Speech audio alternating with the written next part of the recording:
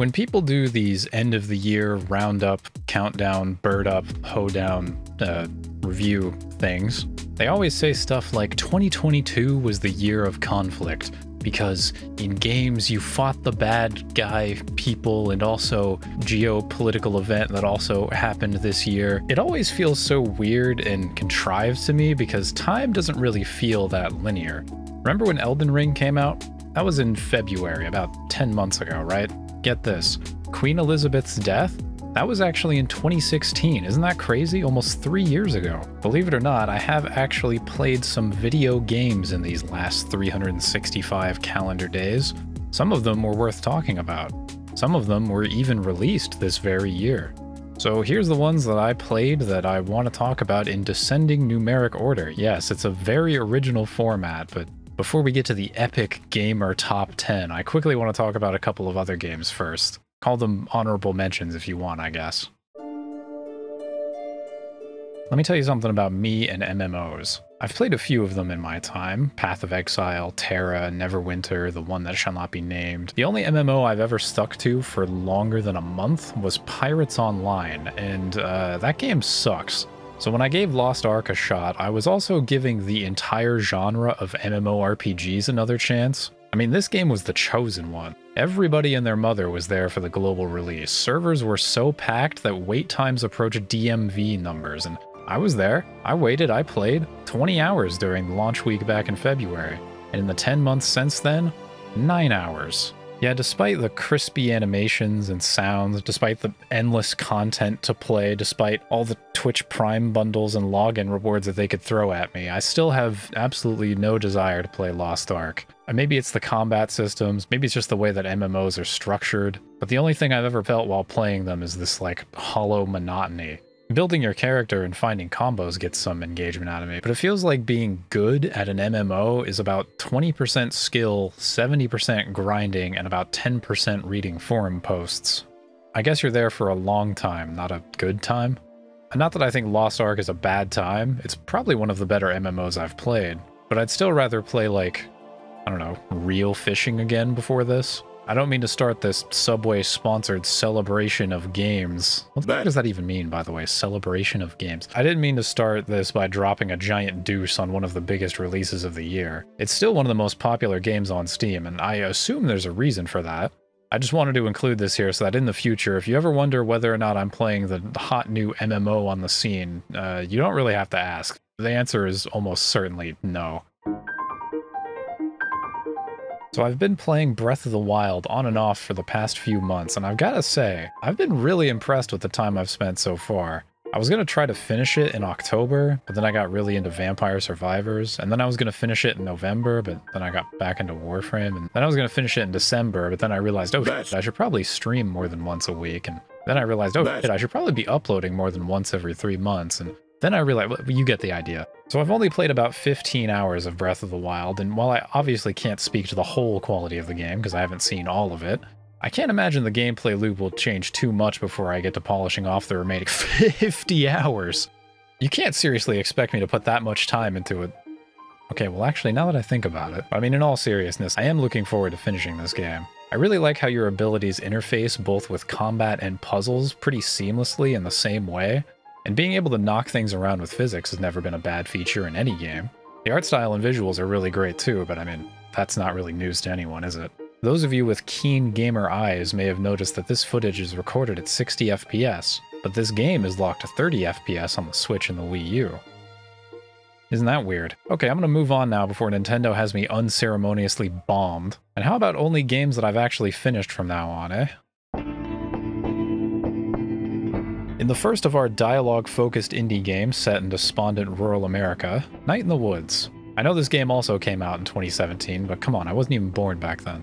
This is a quaint little game featuring quaint little characters with quaint little problems. Problems like stagnation, lack of direction, a chronic and nauseating feeling of existential dread. In general, I'd say this game is very relatable. Not relatable in the way that you watch Spider-Man take a driving test in a car commercial and go, wow, he's just like me for real for real. No, like relatable in the sense that May, along with the rest of the cast of this game, genuinely feel and act like normal people going about their daily lives. What's especially authentic to me is the way characters talk to each other. People don't really speak script. They speak word stuff. Their trains of thought get derailed, they stop and start and go um and use the word and too many times. It probably sounds easy enough to just slap a few pauses and ums into a sentence and that sort of emulates that a person is thinking as they're talking, but you really have to do it with intent and purpose to convey more than what's just being said. And that's especially important for a game like this where you don't have much animation or face modeling going on to express emotions outside of that. Although I gotta say, the eyes in this game are very, very well done.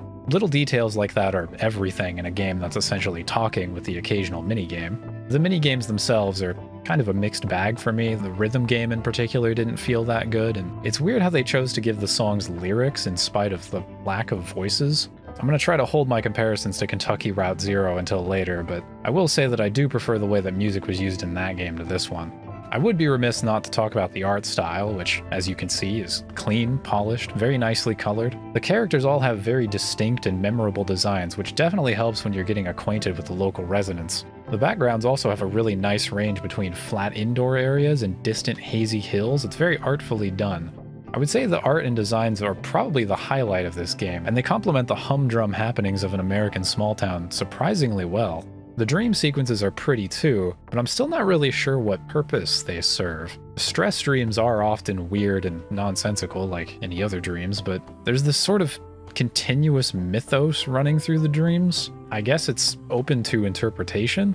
After doing some reading and watching some videos, I haven't seen much of a consensus beyond the obvious, which is their stress dreams. I don't know, maybe you'll find more meaning in them than I did. Overall, I think Night in the Woods is a nice game that tells a good enough story. It didn't blow me away or anything. When I finished it, I basically just thought, yeah, okay. I do recommend it though. I had quite a bit of fun running around the town and getting to know all the people, but it might be some time before I play it again.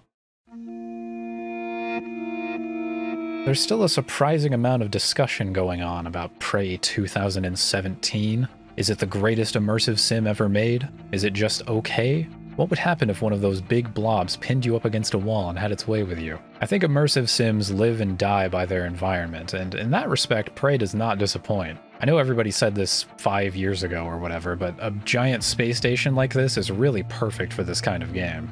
You could basically lay things out however you want if you're the level designer. I mean, it's a future science lab space station. Just put things in places. I don't know. That design freedom lets you give the player freedom in how they approach things, and that's what immersive sims are all about, right?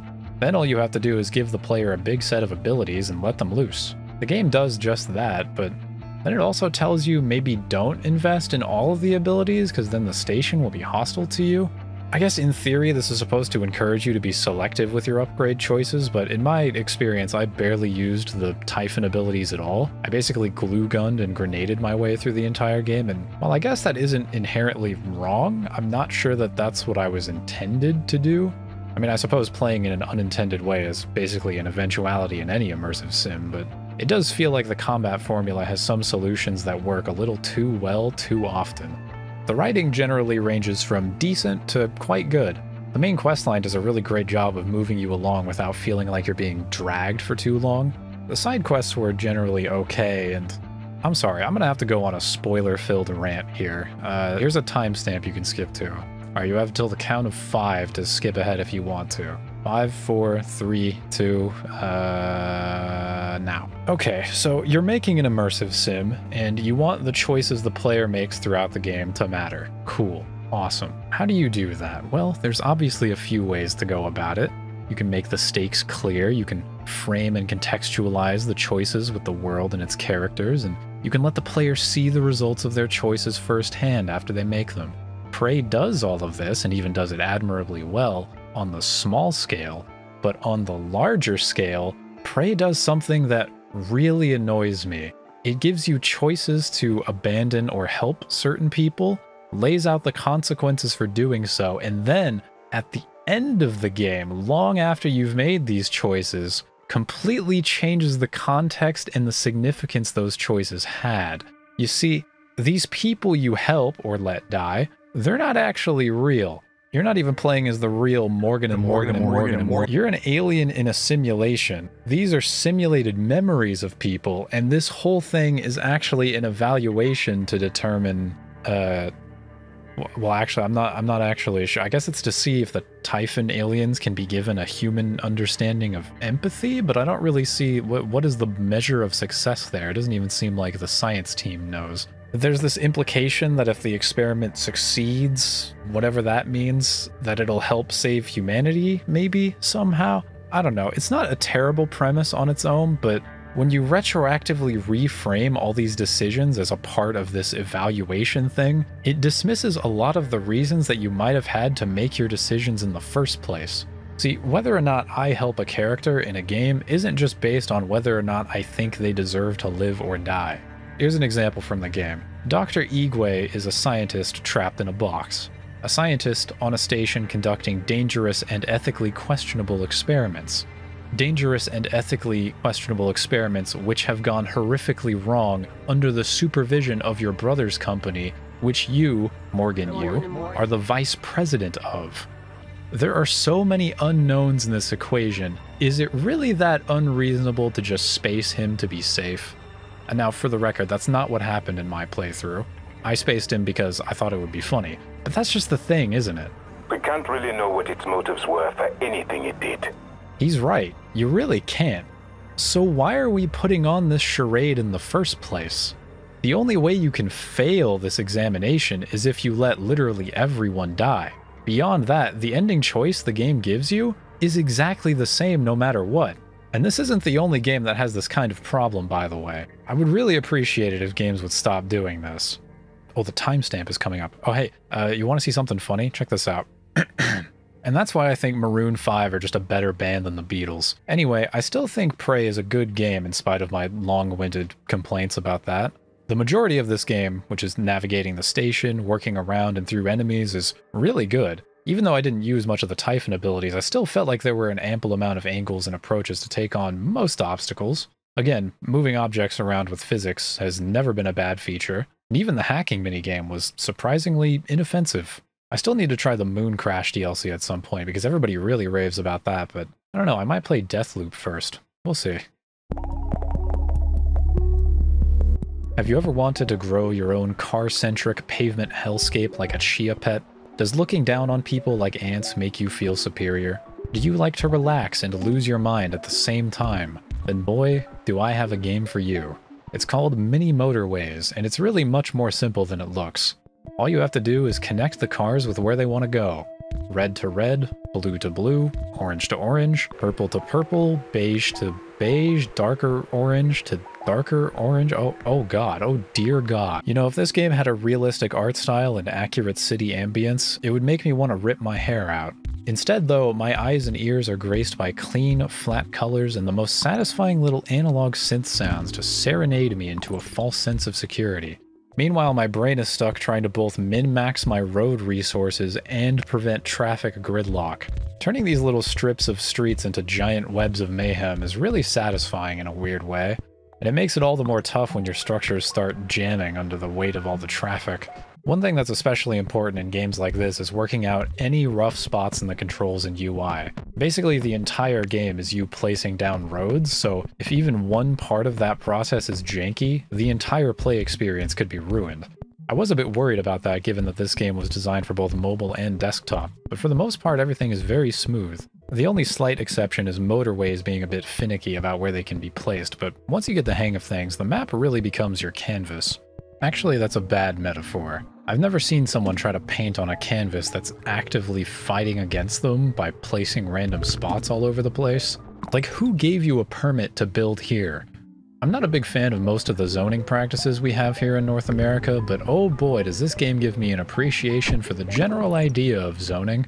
If anybody ever tells you there should be no rules regarding where you can and can't build a house, just sit them down in front of this game and then make them watch some not just bikes videos or something so they don't think that car-centric infrastructure is the solution to everything. If this game looks like your vibe, it's probably worth the 10 bucks. There's also Mini Metro, which was the studio's first game, but that's still in my landfill of a backlog. I'll, I'll get to it at some point. Alright, now that we've got those games out of the way, we can finally get to the good stuff. Reel Fishing for the PlayStation 1. Okay, I know this looks like a joke, and it is a joke, but I actually do really like this game. It's a simple fishing game with not a lot of content, but something about the FMV backgrounds combined with this soundtrack. It's like Sega Bass Fishing's chill older brother, where that game has a guy frantically yelling at you to lower the rod every three seconds. Reel Fishing just has this photo of an ambiguous father-like figure. When you find the breaking point, it's easy to drop your lure into the slack water near the bottom. Uh, by the way, if anybody happens to know who this guy is, please let me know. The credits acknowledge a Mark Davis as pro angler, but I don't think this is our guy. While there was apparently a cajillion sequels to this game, the most recent of which is a visual novel from 2019 that maybe 10 people own, the original is a PlayStation 1 exclusive, so unless you want to buy a disc copy of a game that released 26 years ago, which you could do, I just recommend uh, ethically and legally sourcing a ROM. Okay, now we can go on to the top 10. When a game comes swinging out of the gate with role-playing in the ruins of interplanetary capitalism, there's certainly some big expectations being set. And while I think everybody's initial impression of this game is, gee, where have I seen this before? I think Citizen Sleeper does enough on its own to be more than Disco Elysium, but in space. Its dice system, for one. Instead of rolling for success or failure as you're trying to do something, you pre-roll all of your dice at the beginning of the day, then you can choose what you want to try and what roll you want to use on it. There's variety in the risk and rewards too, and taking up different activities can lead you into new characters and quest lines. Combine that with some basic skill trees, and you've got yourself a pretty simple but robust little RPG system. I'd say the writing overall is quite good, lots of purposeful and memorable sequences no matter which endings you eventually navigate towards. I will admit I was pretty skeptical that this game would have anything new to bring to the table given how much cyberpunk stuff has come out in the last 30 years, and the setting of a poor and remote space station isn't exactly the most original backdrop, but I was pleasantly surprised to see how tasteful and even reserved this game can be, even though you play as an escapee contractual robo-slave. Just about everyone you meet is trying to just scrape together money in some way or another, but rather than just point directly at that and say, just see, capitalism bad because work and poverty, it takes the time to really show you the various demands and ramifications that living in these conditions creates. Working in ship salvage, for example, comes with a very different set of problems than corporate IT, but you can see how they manifest from essentially the same place. One thing I will say though is, while you're free to engage with most of these characters at your own leisure, that also means that the overall narrative of the game isn't as cohesive and strong as it could be. To some degree, that freedom lets you shape your own timeline of events, which is cool, and I think the game's writing tries to be cautiously aware of that where possible, but at some point you're bound to feel like you're just jumping between things rather than all of your choices adding up to one greater story. There definitely is a greater story at play here, and a personal one at that, but sometimes it can feel like you're just sliding a few individual things forward inch by inch. While I generally like this game's style, the art for the character portraits seem a bit odd to me in the way they contrast with how the station is rendered.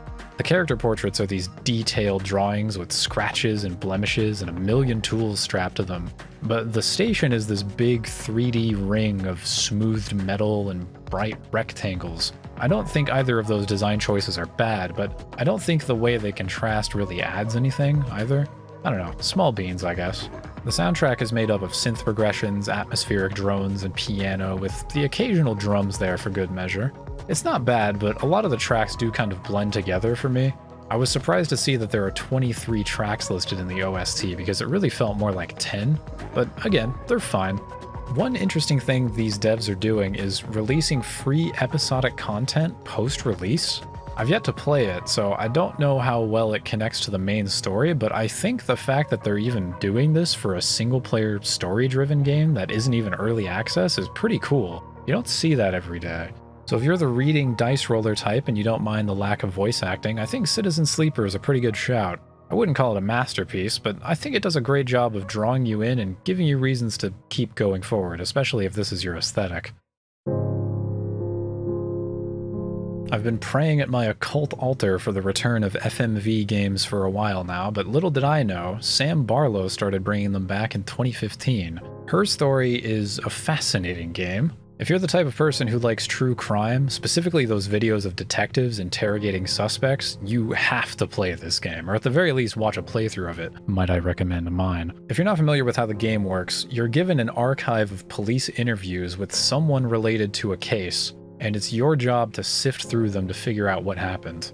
To do that, you search through the transcripts, there's no hard set path or restrictions that I'm aware of. Theoretically, you could crack the case in like 10 minutes if you knew exactly what to search for, but for me and most people, it takes about 3 to 4 hours on average. I'm going to be very careful about spoilers here because it's obviously best to go in as blind as possible to this kind of game, but I was really invested in getting to the bottom of it all. In addition to trying to put together a timeline of events for the crime in question, you also have to consider the timeline of these recordings themselves, it's a long process with a lot of second guessing and double checking yourself, but I think it's well worth it. Even though the nature of the evidence means that there's still a few questions technically left unanswered by the end, I was really entertained with the way things unraveled. There was a great balance of moments where I was both satisfied by confirming my theories and other moments where I was genuinely shocked. That's really hard to nail in a mystery like this, especially with such a loose structure. I have to wonder how much of my positive experience came down to me searching the right words at the right moments. I can totally see why this game won Best Narrative back in 2015, and also why Viva Seifert won Best Performance. For the role she plays in this game, which is the only acted role, she had to be excellent, and she was. Again, I don't want to reveal too much for people who haven't played, but the way she's internalized her posture and mannerisms is really impressive. This character has a lot of nuance and subtle detail that you really start to appreciate as you stare at footage of her for hours. I regret not taking notes while playing. In fact, I wish there was a way to do that in the game. There were times where I was stumped and didn't know what else to search for, and I think if I'd written things down, I could at least have jumping off points. Sometimes I'd think up a couple of search terms and then get completely derailed by a new piece of information, and I get the feeling that's not just a me problem. But yeah, this is a very nice little game. For 10 bucks, it's certainly not bad, but you can also find it on sale for like $2.50. The game only took me about 4 hours to 100%, but $2.50, that's that's like 10 gumballs or a third of a movie ticket. And I'd definitely rather play this than eat 10 gumballs or go to a movie theater.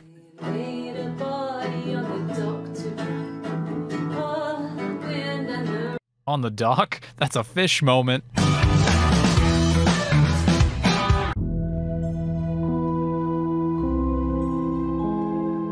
Okay, I'll try to make this one quick since it's a remake but with new stuff. The Stanley Parable is one of my favorite games. Not the original Stanley Parable, the, the original remake. Not this remake of the original remake, but the original remake. That might seem odd coming from me, given how I like to joke about subverting player expectations. But I think the Stanley Parable is a great example of how to do that without turning into M. Night Shyamalan. It's a game full of weird and unexpected things, with lots of interesting answers and non answers for why all these weird things happen. I think Davey Wreden originally described the impetus of this game as just being to fuck with the player, and that makes sense. Even if you don't think twice about the various meta narratives or the game telling you to die in real life in Minecraft in real life, it's fun seeing the absurd lengths the game is willing to go in service of playing with your head. If you haven't played or seen the Stanley Parable before, the Ultra Deluxe is a no brainer even without the new content. As far as said new content goes, it's kind of a mixed bag. The spirit of just with the player is still alive and well, but the phrase painting yourself into a corner kind of comes to mind. The new content is very upfront about being tacked on, and while I can kind of get behind that approach perfectly fine, I feel like the way it played out could have gone farther off the deep end. My favorite parts of the Stanley Parable are when the game collapses in on itself, literally and otherwise. Despite the routes and endings being separated mostly, the way that they all center around your ability to make choices makes them feel greater than the sum of their parts. Playing the original endings felt like the game was opening my breaker box and just crossing a bunch of wires and then closing it again. And it worked somehow. The new Ultra Deluxe stuff also does that, but not quite to the same extent that the original writing did. And don't get me wrong, I still enjoyed my time with it, but I'm not sure how much of a lasting impression it's going to leave me beyond having some funny jokes. The jokes are pretty funny, and the narrator still makes this game. Kevan Brighting's performance is just as sharp here as it was back in 2013, and having him bicker and argue and antagonize you will always be at least a little entertaining to me, so I can give the Stanley Parable Ultra Deluxe a good thumbs up. One thing that's always kind of bugged me about reviews is that so many words get wasted on just describing what's plainly in front of you, especially when talking about writing. I've seen way too many reviews and even video essays that are supposed to be about a specific topic that just sound like you play as this guy and then this happens and this happens and look at that. That's symbolism. Isn't that crazy? Symbolism in a video game. And that's why this is the best game ever made. But as annoying as I find that to be, I really wish I had the power to just sum up Kentucky Route Zero, because this game is a bastard to describe. I guess I can start by warning you that it's an indie game with a capital I. Even among the various dialogue focused point and clicks out there, there's a lot of weird and unorthodox storytelling stuff going on, and this game is not afraid to shove you into situations that will confuse you or even just bore you to make a point. It also feels like every character you meet just has a monologue locked and loaded, ready to blast you full auto about what they did back in college, or how they got lost in a cave one time, or about two divers who ate at their restaurant once. And at the same time, these characters also host a lot of very real conversations. For better or worse, the themes and messages in this game are heavily rooted in reality, and reality does have a tendency to be confusing and boring and directionless. If I had to describe what the game is about, I'd say that it's the struggles people have trying to navigate. The initial hook is that your character is trying to make a delivery to an address that he can't find, and the motley crew that you assemble over the course of the game are people basically in that same position. They need to get somewhere, but they don't know where it is or how to get there. The story that follows isn't a traditional story, it's kind of just what happens when people are lost. They meander, they go astray, they get confused, they become skeletons. For a game that's so obtuse with its presentation sometimes, it surprises me how on the nose it can be, though it makes sense. Big corporations hold a lot of power over people's lives. That's not a hot take or a new perspective, that's just a part of reality. It's easy to recognize it when you see it, so I appreciate how the game doesn't try to frame it as some giga IQ realization. That's not to say that the game isn't subtle, the game is perfectly capable of being subtle, even cryptic at times. But there's a weird kind of straightforwardness to the way its dialogue is written that's sometimes endearing and sometimes grating.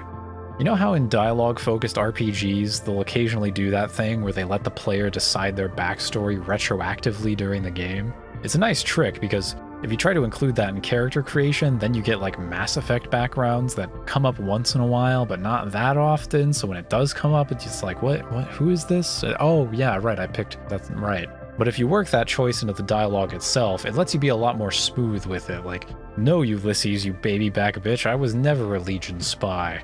Now, like all narrative tools, if you overuse them, things can get kind of muddy.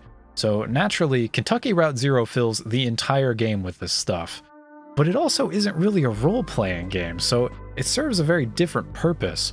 Instead of character building or role playing, here you have a much more direct influence on the story itself. Maybe not the events and path of the story, but the context your choices are made in. It makes your choices feel a lot more meaningful because instead of the characters' relationships being dictated to you, you kind of feel them out and map them out yourself. I know this all sounds really vague and confusing if you've never played it, but that's really the best way I can think of to describe it. There's plenty of hour long videos you could watch that describe it better than I can, but I don't have that kind of time, so I think Kentucky Route Zero is one of the most emotionally malleable games I've played. There is a lot to interpret, to understand, and to relate to, but the game is not going to tell you how to do any of that. That's up to you. If that sounds like lazy writing and a stupid idea to you, you probably won't like this game. If that sounds interesting to you, you might like it. Personally, well, I think it has a lot of charm to it. I enjoyed a lot of the ways that it played with narrative, but there were a few segments where I got sort of annoyed because it wasn't clear what I was supposed to do to move things forward, even though there was clearly one thing that I was supposed to be doing. Hey, isn't that just like how the characters in the game don't know how to move forward and get lost? No, it's not. What I'm talking about is like trying to plug in a USB cable and having to rotate it three times. You'll get it eventually, but you don't really learn anything by doing so. Okay, maybe that analogy doesn't really make sense, so I'll, I'll word it like this. The game has a lot of neat and novel tricks, but sometimes they can feel more like hurdles than steps. There. Put, put that in your Polygon article and smoke it. In the end, I'm surprised how much of this game stuck with me. I can't say that I particularly loved any of the characters, but it's been six months since I played this game, and I still remember most of them pretty well. There are lots of games out there that'll serve you some basic observation about the world and say, oh, well, what do you think about this, huh? Doesn't this make you think? But Kentucky Route Zero is one of the few games I've ever played that feels like the polar opposite, and I think that's why it draws me in so much. It's not trying to tell you how things are, it kind of just is. Of the negative Steam reviews that I read, a lot of them said things along the lines of, oh, it's not for me, but you should try it, which I think is a good sign. I myself didn't even realize how much this game stuck with me until I sat down to compose this list. It feels weird saying that and putting this game in the number 7 spot above other games that I gave more universal recommendations to, but it's such a weird and unique thing. You know how people describe a story as unfolding? This game folds. It folds a lot. I like it. Okay, you already know that Hades is good. It's not a secret. The combat's zippy and responsive, the art is amazing, the soundtrack's full of bangers, the characters are endearing without being overbearing, and you can pet a Cerberus. If that isn't enough to sell you on this game, I don't know what else to tell you. It's great. So why is it number 6 on this list and not higher? Well, I mean, the competition is getting pretty stiff here. I mean, this is number 6 out of the top 15 games of the 35 to 40 or so that I played this year. But still, I, I do have a few minor grievances. Although the first thing I want to say isn't even a grievance, really, it's just a taste thing. I don't care for Greek mythology whatsoever. I feel like I've been having it forced on me since childhood movies, books, plays. My sixth grade class put on a musical version of Theseus and the Minotaur. I had to read excerpts from the Iliad in high school, and, and yes, I get it. It's very iconic, very influential stuff. Where the fuck was 1001 Nights? Beowulf? I'm sure there's some interesting choices and attention to detail in how Hades portrays these various gods and myths, but I've been fatigued on Greek mythos for at least 10 years at this point, and that's obviously not the game's fault, but that's, you know, part of the reason why it's here at number 6. One grievance that I do have that's actually a little more valid regards the various combat animations. They're pretty and generally nice, but when the pace is picking up, the screen can feel a little visually cluttered. It's not an issue every run, but when it is, it can lead to some frustrating and preventable points of damage. And I really need all the help I can get given how often I dash on the traps. I think the way this game handles the god's abilities is a really nice step for roguelikes. Letting you not only choose between a god's various abilities, but also between the gods themselves is a great way of introducing more player choice while not just letting you grab everything you want. It goes without saying that putting a good build together is very satisfying too. I'm really looking forward to see what Supergiant do with Hades 2. This is the first sequel they've ever done, so I can only assume they've either got some nice ideas or they really just want to rake in that money since Hades is their best-selling title by a decent margin. I have faith either way. This is easily my favorite game from them so far, and they've got a pretty good record in general, by my count. You know that JSawyer mod for New Vegas? Turns out that mod actually named after a real guy, and his last name, not even Ultimate Edition. What the hell? Apparently he's been trying to get something like this off the ground for about 20 years, and once Obsidian became an Xbox studio, I guess there was finally enough green around to give Pentiment a green light. At a surface level glance, I kinda expected this to be a game that would only appeal to a very specific audience. After playing it, I'd probably still say that, but I think the potential net for this game is much wider than it looks. Yes, it's a dialogue centric adventure game set in feudal Bavaria. It's a lot of reading with no voice acting outside of the accessibility text to speech. I know that description by itself is going to make a lot of heads turn the other way, and I'll be honest, if it wasn't on Game Pass and if a month of Game Pass wasn't a dollar, I might have never got around to playing this game. But man, I'm really glad that I did. When you talk about a setting for a story, especially one that's designed to be historically accurate, the question at hand is always why? Why tell your story in this particular place at this particular time? You don't need to justify every grain of sand with a Bible chapter, but I think things should broadly make sense. For example, if you want to tell the story of an outlaw cowboy desperately trying to escape his past, setting it during the death of the American frontier is very appropriate. Pentiment's setting, the village of Tassing, is incredibly faithful. Not to a specific real town, Tassing and all of its characters are fictional, but faithful to something much greater.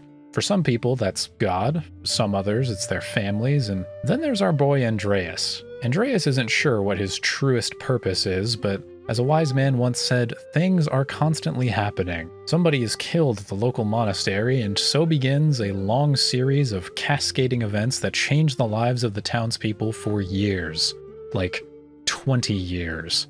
In addition to the story at hand, this game chronicles the lives of people farmers, workers, mothers and fathers, and sons and daughters. You see all these people change over time. And I know that sounds kind of like some pie in the sky, infinite quests type of promise, but it's done very genuinely and meticulously on a small scale in this little villa. I don't think any other game has ever made me feel so conscious about the past and the future. This game didn't just pick medieval Bavaria so it could have a cool art style or soundtrack, though it does have both of those things as well. It chose this setting to give us a window into the lives of people who we've only ever seen as drawings and text, not videos or pictures where we can accurately see things as they really were, but interpretations and retellings. That's the underlying current that I think makes this game special. As far as the plot itself, it's good. I've seen a lot of discussion about the third act since it changes the pace of the game a fair bit, and while I've certainly felt that speed bump, I knew it had to be going somewhere, so I had patience for it. There's not really much more I can say without spoiling things, so I'll wrap this up by saying if you have Game Pass or you're at all interested in Pentiment, I highly recommend it. It's reading, yes, but it's purposeful, and it'll definitely show you some things that you've never seen before. I think I'll give it one or two more playthroughs before I tell you that it's a certified hood classic, but it's really good. What some of you may not know is that despite my long and abusive relationship with Counter-Strike, I also have quite a fondness for movement boomer shooters. I know at least one of you just tabbed back into this window because you think I'm about to talk about Ultrakill, but that game's not out of early access, silly. It can't be on this list. You know what could be, though? Dusk. I've been thinking for a long while about how much I'd enjoy a single player campaign with Quake's classic momentum based movement and modern Doom's level design insights, but after playing Dusk, I'm not actually sure if that could top this. What really does it for me is the change ups between larger open areas where you can kind of freestyle on enemies as they spawn in, and the more cramped sections that connect them. Not only is this game wise enough to take advantage of the different gameplay opportunities that these different environments give you, it also somehow manages to pace them like perfectly. And that's even with the 90s color-coded keycard thing in there too. Even though your arsenal is basically completely filled out only two hours in or so, levels always offer some new and interesting way for you to leverage those weapons. There are enemies in every possible direction at every possible range. Right in front of you, way over there, up on that thing, around that corner, and shaking that up really encourages you to reach for all of your weapons without implementing things like damage type resistances, which remove that kind of decision making from you. Not to mention the looks of these levels too. God damn! I know the vintage 90s thing isn't exactly for everyone, but I think it really complements the tone that this culty, demony nightmare has. And it even has a nice range of colors while doing it. The enemies sound and act exactly like you'd expect the average Pennsylvania residents to. Very realistic there. The only issue of any real significance that I have with the game is that subsequent playthroughs basically offer you the same experience as the first. I suppose that's what Endless Mode and multiplayer are for, though I haven't really been too drawn to either. Endless is fine, I guess, but it's basically exactly what you'd expect it to be and not really much more. I'd also say the same thing for the industrial metal soundtrack, but I can't deny that there's some really catchy riffs in there, some nice ambient pieces too. This is another one of those games that basically sells you exactly what's on the box. If you're looking for an entry into the neo boomer shooter world, this is a great place to start, especially when it's on sale for 8 bucks. About a week ago, I had this entire list written, and then I realized that Teardown technically came out of early access this year. You probably recognize this game for its very nice destruction sandbox, but what you might not know is that there's a campaign to this game that features all of your favorite activities problem solving, breaking and entering, burglary, vandalism, the whole gambit. Putting together, or I guess, I guess technically you're like deconstruct, building a route and then racing against the clock is, dare I say it, an original gameplay loop that's actually never been done before? I mean, maybe there's some other game that's focused on trial and error robbery via overplanned speedruns, but I guarantee it doesn't play quite like this. It's crazy how most of the levels are just buildings and stuff, but with the fully destructible environment and a big toolkit, anything can be an obstacle or a solution. Working out your plan is like this crazy brainstorming session. You come up with a good idea, but you miscalculate, it doesn't work out, and then you come up with a completely brain dead idea that could never possibly work, and it doesn't work, but you get a lot closer than you think. So you refine it, make a few tweaks, cut a few corners, and eventually, miraculously, sometimes it works. And it's amazing. I feel like a mad scientist throwing beakers together. Having a toolkit with limited ammunition is a really smart way of creating constraints without constricting on your creativity. But once you upgrade things, you can kind of go gung-ho, but that never feels like too much of an advantage since there's always some new problem to try to wrap your head around. One thing about Teardown I don't see people talk about enough is the lighting, and specifically the color, which is phenomenal. This is a really beautiful game.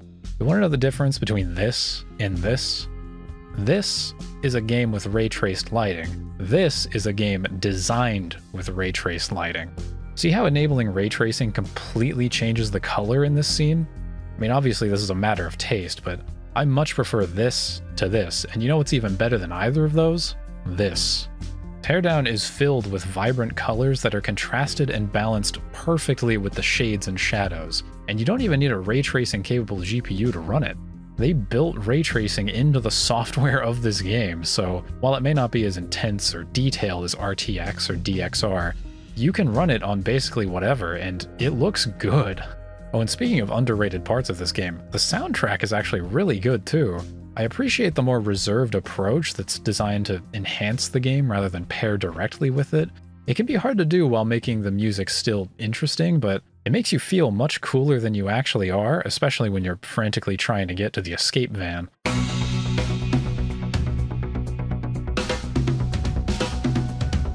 It's super spacious too, which really adds to the overall ambience of every level. Teardown is pretty innovative and just intuitively fun. It's $20 at full price, 16 at lowest sale, and I easily recommend it at either price. It even has mod tools and workshop support. Eh, Actually, you know what? Fuck it, I'm gonna do it. This is a certified hood classic. Vampire Survivors is a dangerous game. It's the type of game that you can open, blink, and then suddenly realize two hours have passed.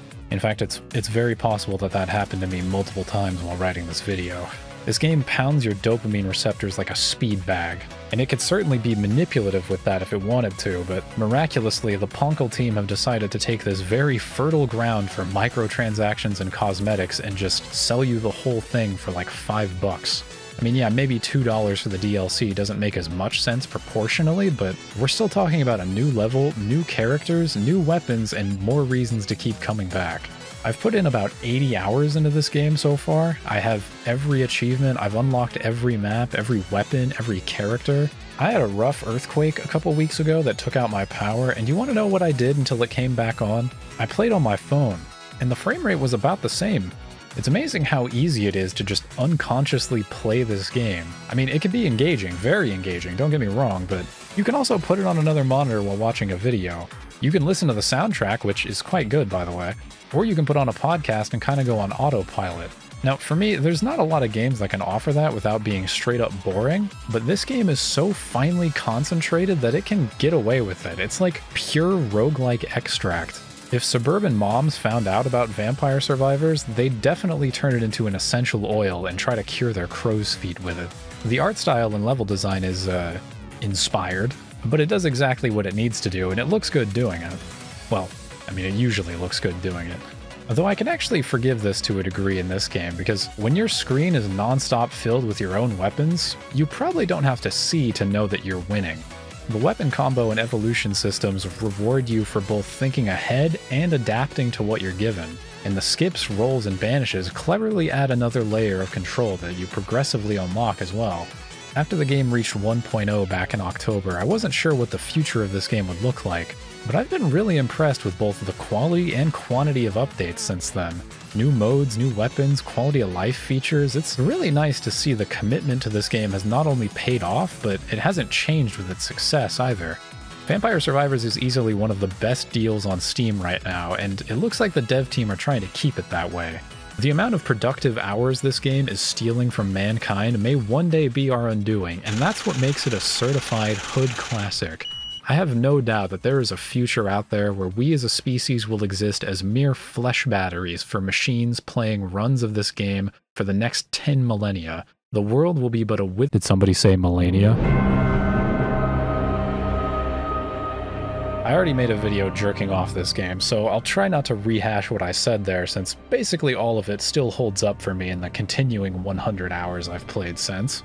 To be honest, I liked Dark Souls 3 so much that they could have literally just made Dark Souls 3.5 and I would have been fine with it, but despite Elden Ring sharing so much DNA with Dark Souls 3, it still feels quite distinct. I'm hoping that in future updates and potentially DLC, we get some New Game Plus content. I mean, obviously, I understand that the first playthrough is insanely long, and it would be stupid to invest too much into people playing a second, but it would be nice just to have a little something. The New Game Plus surprises were some of my favorite parts of Dark Souls 2, even though a lot of them were just kind of copy and paste invaders. The story has never really been of particular interest to me in these games, but I like the way that it very gently directs you through opening the world up in Elden Ring. It makes it feel more natural when the stakes are raised later on, since you're progressively unearthing this massive, decrepit kingdom. I had a longer segment written here about how a lot of people started feeling burnt out after the capital, and I never really felt that, but I think the long and short of it really comes down to how much you enjoy the feel of the game's combat. For me, even in the most routine dungeon clear or herd of mob enemies, I still find fun in rolling around, hacking, slashing, and spelling. I did have issues with the game's co-op networking around launch, but they've died down over various updates and also with use of the seamless co-op mod. Beyond that, I really have nothing but nice things to say about Elden Ring, even Malenia. I won't argue that she isn't really hard, she's easily the hardest boss in the game by a wide margin, but I think it's funny that her achievement stat on Steam is not far off from the other bosses at all. As dialed to 11 as she may be, Malenia's fight is just like every other boss. Learn the moves, find the openings, rinse and repeat. It's very doable. Oh, and before I forget, the soundtrack. Soulsborne has a long lineage of great soundtracks, and the ambient tracks in Elden Ring might be some of my favorite work to appear in these games, even though they're much more low-key than a lot of the boss music. The area designs in this game are this like kaleidoscope of colors, and the swells of music that you hear intermittently as you're exploring are really clever ways of stitching all these different places together while reinforcing their uniqueness. They aren't emotionally prescriptive either, though. It really helps with this broader ambiguity that you kind of have to feel out as you're exploring the world. In summary, I think Elden Ring is a great game with a capacity to be one of the greatest games.